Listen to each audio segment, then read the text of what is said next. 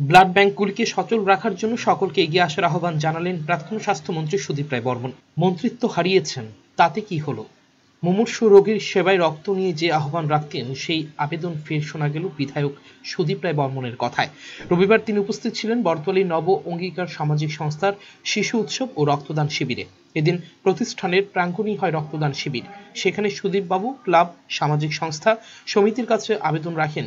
Calendar তৈরি করে চার মাস পর পর রক্তদান করার। এদিন এও পরামর্শ দেন, শিবির না করেও ব্লাড ব্যাংকে গিয়ে রক্ত দেওয়ার। এতটুকু বলল, ব্লাড ব্যাংকে চরম রক্ত সংকটে দেখা দিয়েছে। আমাদের অনুরোধ থাকবে সমস্ত ক্লাব, সামাজিক সংস্থা, বিভিন্ন সভা সমিতিগুলোর কাছে। তারা যেন একটা, আমি আগে অনুরোধ করেছি, এখনও করছি। একটা ক্যালেন্ডার বানিয়ে তারা যেন প্রত্যেক তিন, চার মাস অন্তর অন্তর রক্তদান শিব মানে রক্তদান উৎসবে যেন তারা অংশগ্রহণ করেন।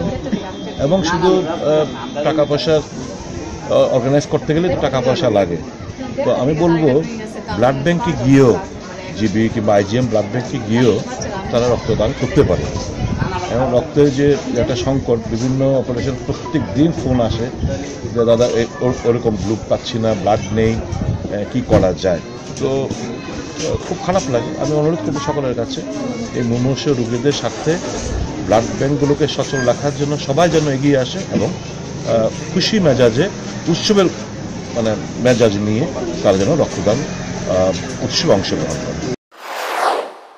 এদিকে নব অঙ্গীকার সামাজিক সংস্থার তেরোতম শিশু উৎসবে বিভিন্ন বিভাগে ছেলেমেয়েরা অংশ নেয়। রিপোর্ট, চ্যানেল তিন